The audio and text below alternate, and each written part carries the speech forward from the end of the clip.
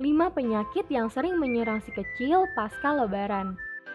Setelah merayakan hari raya lebaran, biasanya beberapa penyakit mulai mengintai si kecil. Penyakit-penyakit tersebut bisa muncul karena berbagai penyebab seperti kelelahan karena perjalanan panjang yang dilakukan saat lebaran, waktu bermain yang terlalu lama, asupan makanan yang kurang terkontrol dan bukan menu sehat seimbang.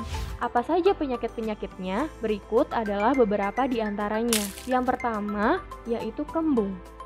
Saat lebaran, anak-anak biasanya akan sangat antusias ketika bertemu seluruh anggota keluarga, sehingga ketika sedang mengunyah makanan pun, mereka sibuk bermain sembari berlari-lari.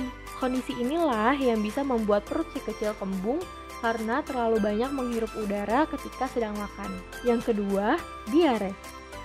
Hidangan lebaran yang dikonsumsi si kecil sebaiknya milk lovers perhatikan karena mungkin saja opor, kue kering, atau rendang yang si kecil konsumsi telah terkontaminasi bakteri atau parasit yang bisa menyebabkan ia terkena diare. Karena itu, pastikan kebersihan dari makanan yang disantap si kecil ya milk lovers.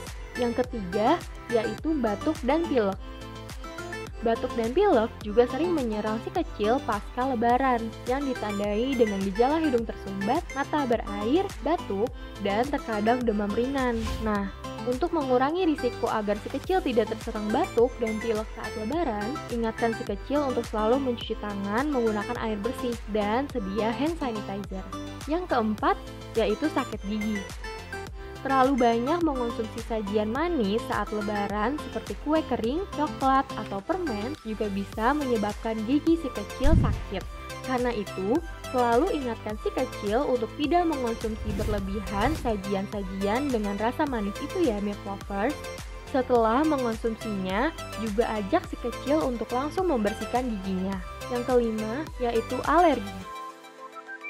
Pasca lebaran, si kecil juga beresiko terserang alergi, baik itu alergi akibat makanan ataupun udara karena tidak cocok dengan suhu di kampung halaman atau di suatu tempat yang sedang dituju. Jika gejala-gejala alergi mulai muncul, segera memeriksakan si kecil ke fasilitas medis terdekat adalah langkah bijak yang sangat disarankan. Itulah 5 penyakit yang sering menyerang si kecil pasca lebaran. Semoga informasinya bermanfaat untuk milk lovers semua ya.